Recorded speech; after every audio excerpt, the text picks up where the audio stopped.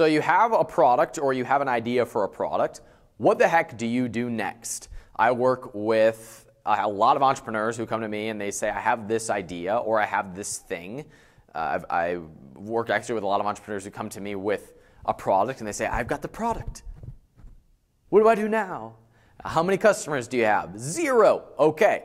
Well, then we got some work to do. If that's you or you're still waiting for your idea to hit you, we're going to solve the problem of where do we get our first customers in this video. Originally, we were going to talk about, okay, how do you get your first 10 customers?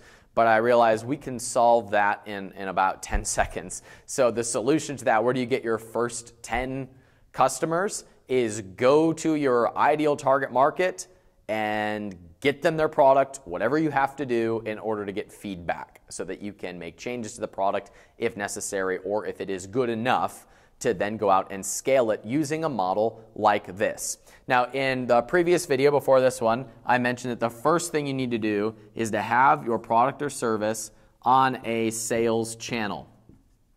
And we went over a couple of examples of sales channels.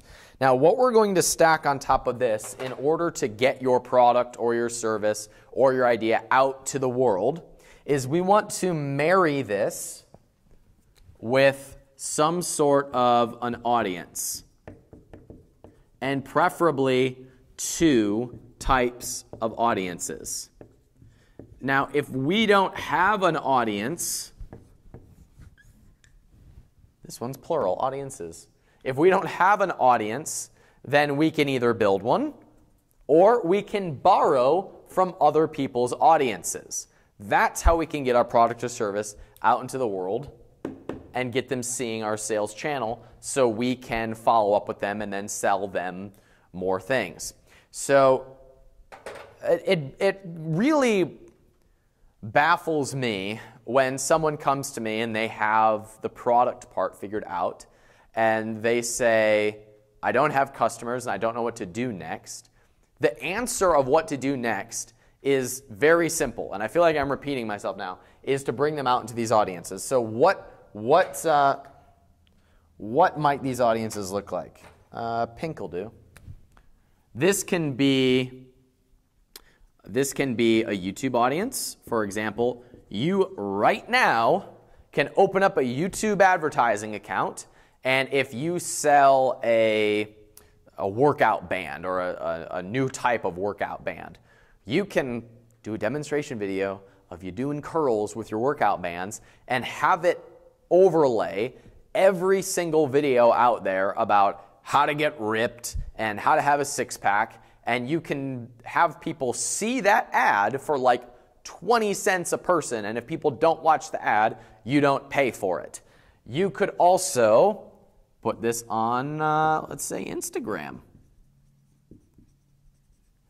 You know, there is a company called Shredz. They're a supplement company they built their entire business on Instagram by building up and advertising to audiences that just follow fitness related Instagram pages. And they do millions of dollars because they're in front of an audience.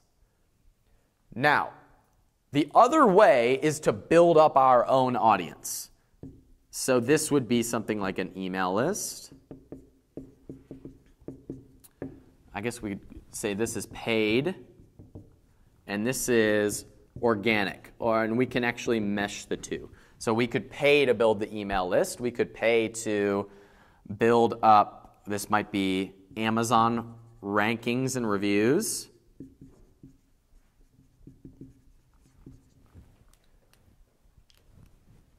And this is going to be where we have the control long term, obviously. In fact, I recommend that most of our efforts is in building up our own audiences.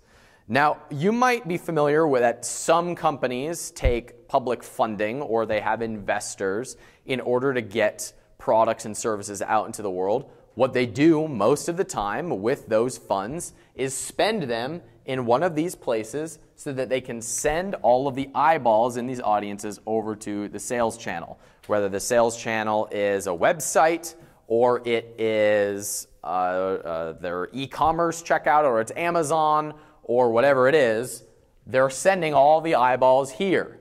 So when you hear that a business sold a whole bunch but they weren't profitable, good chance that they spend most of their energy building up the sales channel so that in years later they could step off of that uh, gas pedal and make all their money in the rest of the boxes of the blueprint, which we went over in video one.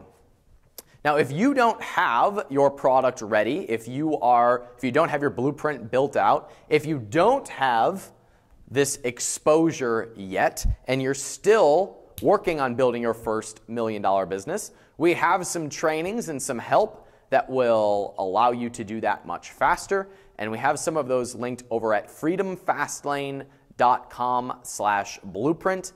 And there you can get some help for building your first million dollar business. We would love to help you grow that business faster and get you to that million dollar level. Thanks so much for watching. If you like this, please let us know in the comments and we'll see you on future videos. Thanks.